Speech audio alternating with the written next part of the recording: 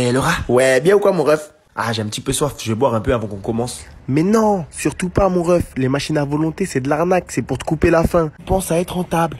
Viens, allez, suis-moi, je vais tout expliquer. Règle numéro 1, on commence toujours par manger. Mais Laura, faut prendre une assiette. Mais non, t'écoutes vraiment bien. On va pas perdre du temps à faire des allers-retours à la table. On mange ici direct. Tiens, prends les baguettes, fais comme moi.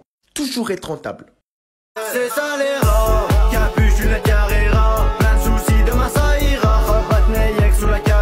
Le bénéf. C'est ça